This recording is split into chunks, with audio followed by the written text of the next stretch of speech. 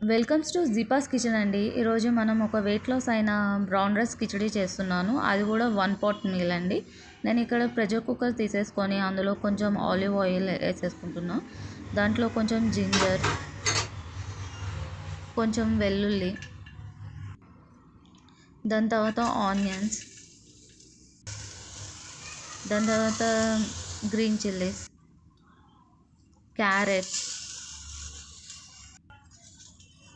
capsicum. French beans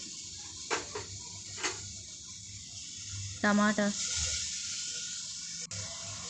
వేసేసుకొని అవన్నిటిని ఒక ఫైవ్ టెన్ మినిట్స్ వరకు కలుపుకోవాలండి.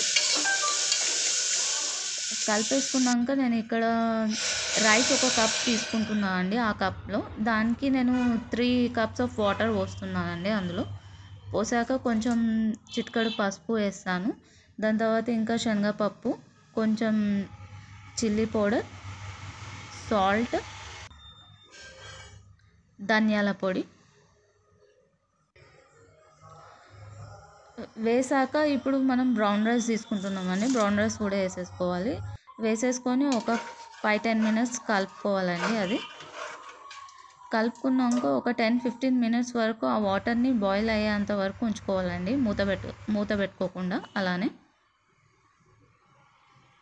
ఇక్కడ టెన్ ఫిఫ్టీన్ మినిట్స్ అయిపోయిందండి. అయిపోయాక ఇక్కడ నేను కొంచెం లెమన్ జ్యూస్ వేస్తున్నాను అందులో.